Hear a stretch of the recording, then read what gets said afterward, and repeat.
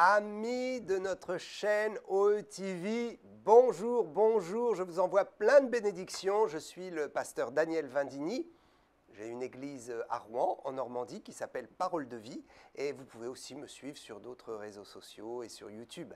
Mais aujourd'hui, je suis heureux d'être ici sur ce plateau pour cette émission Exhortation et pour vous parler à propos de quelque chose d'intéressant. Je voudrais vous encourager et vous dire le sujet de mon exhortation aujourd'hui est le suivant. Arrêtez de vouloir toujours tout prouver aux autres. Arrêtez de vouloir tout prouver. Soyez vous-même. Soyez vous-même. Et libérez-vous de toute contrainte qui vous pousse à vouloir absolument démontrer aux autres que vous êtes quelqu'un ou quelque chose.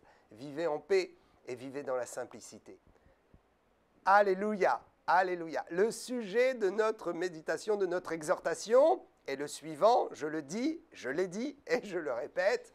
Arrêtez de toujours vouloir prouver tout aux autres, vouloir prouver que vous êtes quelqu'un, quelque chose. Soyez vous-même et vous verrez que ça ira beaucoup mieux. Lisons un texte dans la parole de Dieu. Tite, l'épître de Tite, une petite épître euh, qui est souvent mal connue chapitre 3 et verset 5. Il nous a sauvés non à cause des œuvres de justice que nous aurions faites, mais selon sa miséricorde. Il nous a sauvés pas à cause des œuvres de justice, pas à cause de nos œuvres, mais tout simplement parce qu'il nous aime. Il nous aime tels que nous sommes et il nous aime tellement qu'il ne veut pas que nous restions tels que nous sommes, mais il veut nous changer et nous bénir. Croyez-moi, ce que Dieu est, nous devons l'être aussi. Ce que Dieu fait, nous devons le faire. Nous devons nous identifier au ciel, au Seigneur. Et moi, je me plais à vous dire que vous êtes capable d'imiter Dieu dans ce raisonnement. Ce raisonnement est le suivant. Il y a des chrétiens qui ont besoin d'être euh, euh, euh, comment libérés en sachant qu'ils peuvent être aimés pour eux-mêmes et pour ce qu'ils sont et non pour ceux qu'ils font. Peut-être vous avez essayé, vous êtes débattu, vous avez fait des œuvres et des œuvres et vous avez voulu qu'on vous reconnaisse et vous avez voulu qu'on vous aime, qu'on vous entoure, qu'on vous sauve, qu'on vous pardonne, qu'on vous donne une promotion, je ne sais quoi. Euh, le mot salut ici correspond au salut éternel, à la vie éternelle, mais dans notre vie, nous avons aussi la recherche de salut sur différents domaines. Nous voudrions que les gens nous bénissent. Peut-être vous avez des parents qui, qui sont riches, qui ne veulent pas vous donner d'argent, et alors vous essayez de faire plein d'œuvres de justice auprès d'eux pour leur prouver que vous êtes leur fils ou leur fille, pour qu'ils vous aiment et qu'ils vous donnent de l'argent, mais ce n'est pas cela qu'ils attendent de vous. Ils attendent même que vous arrêtiez de vous agiter et que vous soyez un peu vous-même devenez, redevenez vous-même et sachez que l'on n'obtient pas toujours des gens quelque chose parce que nous faisons des œuvres pour eux. La monnaie d'échange n'est pas toujours la contrepartie des œuvres. Il y a une monnaie d'échange qui est le cœur, je vous assure. Il y a des gens qui n'ont pas besoin que vous vous agitiez, que vous fassissiez des œuvres ou que vous cherchiez à leur prouver quoi que ce soit.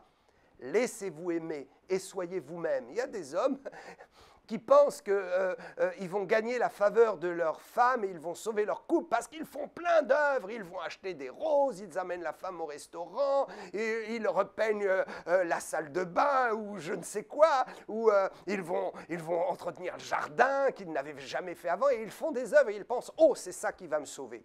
Mais sachez que pour Dieu, ce ne sont pas les œuvres qui sauvent, mais c'est juste d'être soi-même et d'accepter l'amour de l'autre et la miséricorde. Peut-être ces maris-là, devraient arrêter de s'agiter de faire des œuvres et devraient tout simplement se laisser aimer par leur épouse, l'écouter, s'asseoir et juste l'écouter, et juste savoir qui elle est, et juste chercher à aimer la personne pour ce qu'elle est et à se laisser aimer pour ce qu'il est. Oh, nous devrions vivre beaucoup plus simplement.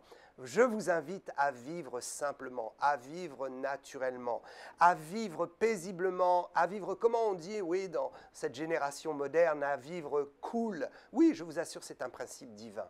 Dieu ne nous aime pas à cause de ce qu'on peut faire pour lui, il nous aime parce qu'il nous aime, et il n'a pas besoin qu'on lui prouve quoi que ce soit. Alors, effectivement, on va faire des œuvres, on va faire des choses, mais le but recherché de nos œuvres ne sera pas d'attirer sa faveur, mais juste de lui, de lui plaire et de, de, lui montrer qu'on on, l'a rencontré et qu'on est disposé à lui obéir, à être euh, fidèle et à être malléable entre ses mains.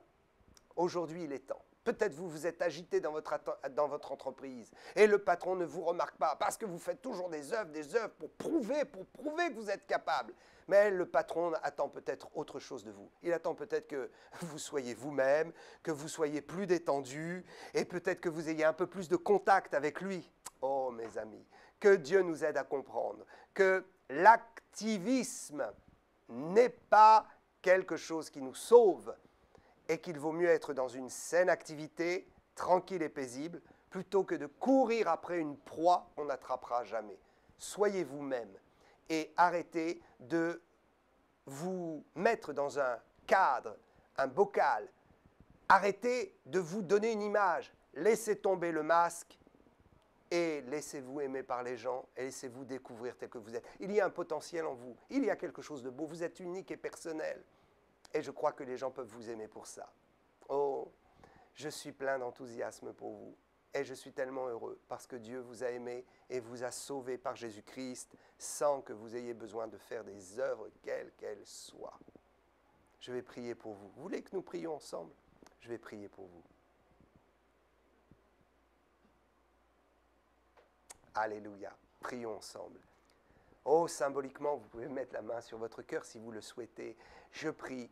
Père, au nom de Jésus, je te prie que tous ceux qui me suivent maintenant, qui nous suivent sur OETV, puissent recevoir la grâce du Saint-Esprit du ciel ouvert sur eux, afin qu'ils réalisent qu'ils sont bénis tels qu'ils sont et qu'ils n'ont pas besoin de s'agiter dans les œuvres pour se faire remarquer, mais que toi, du haut du ciel, tu peux mettre un projecteur sur leur vie alors qu'ils sont tels qu'ils sont et qu'ils se comportent juste comme des chrétiens bénis. Ô Père, merci pour eux, merci pour nous, merci parce que tu nous as sauvés sans que nous ayons besoin de faire des œuvres.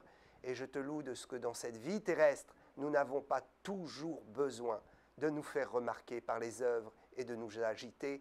Aide-nous, aide-les Seigneur à être calmes, être paisibles. Au nom de Jésus, Père, je te prie que la paix qui surpasse toute connaissance soit avec eux dans leur cœur, leur esprit. À toi soit toute la gloire, Jésus. Amen, amen, amen. Oh, mes amis, vivez en paix. C'est la meilleure bénédiction que je puisse vous envoyer et cela vient du cœur. Réellement, je le souhaite. Vivez en paix. À bientôt.